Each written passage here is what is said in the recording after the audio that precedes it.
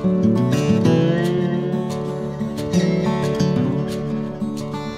you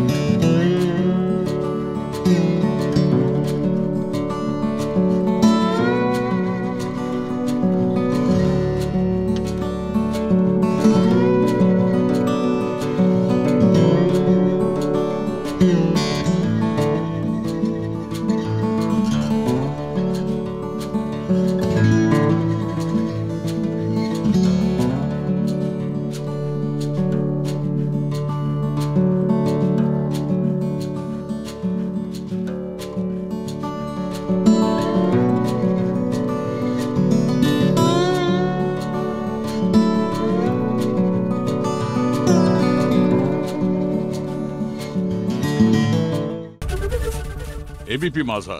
उघडा डोळे बघा नीट.